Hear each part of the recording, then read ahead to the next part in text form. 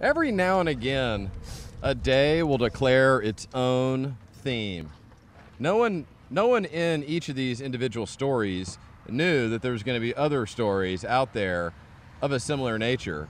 But today's common theme, be sure the kid's not around here, penis stories. I mean, I'm not kidding you. I got five stories here that directly involve the wang. Like the brain bone's connected to the wang bone. All right. And the brain bone's not very smart. Matt just got visibly uncomfortable. Why? No I think because between me and the small The wind is child, blowing he's this just way. he's very very uncomfortable Would, right are now. you uncomfortable if I if I say uh, male appendage around Kirsten? No. Is that really like? I would hope not. That that She's phrase is cool. woman. Yes. No, I understand. She's a grown woman. I know.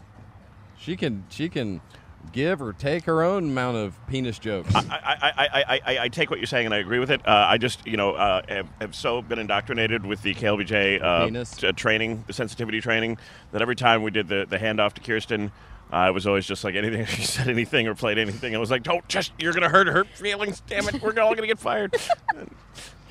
just two of us and did. here we are. well, we kick off this Not my fault. no, not at all. This pantheon of peen with shopper rubs his peen. You can't you can't wimp out in the middle. all right.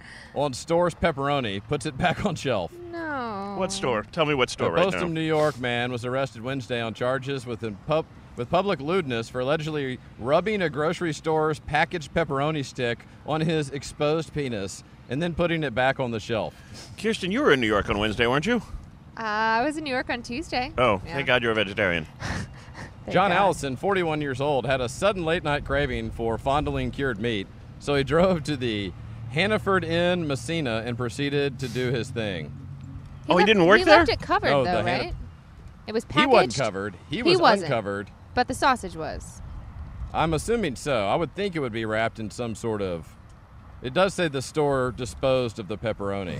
Just to be safe. Yeah. You have to. I mean, that's a guy got up in the middle of the night, went to a store to pepperidge his farm, if you know what I mean. Ow. Next up, I'm not kidding you. All these were on the news today. Teen bites boyfriend's penis over What? sex refusal. Really? Oh God. Oh. When her amorous advances were repeatedly rejected by her live in boyfriend, Crystal, spelled with a K, Hmm. Harrison, allegedly bit his penis in retaliation.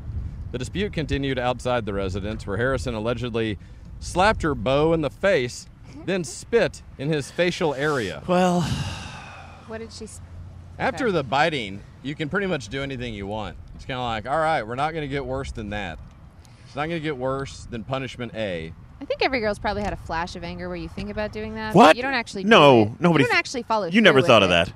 But like a flash of anger when you're at the movies and like later I'm going to bite his penis, or a flash of anger like when it's there and you're like, Flash of anger when it's there. like, Where- what's happening? Is where this did like this an- story happen? This was Florida. say Oh, was it Yeah, Florida? Florida. So maybe not every girl, just a lot of the ones in Florida Florida. Yeah.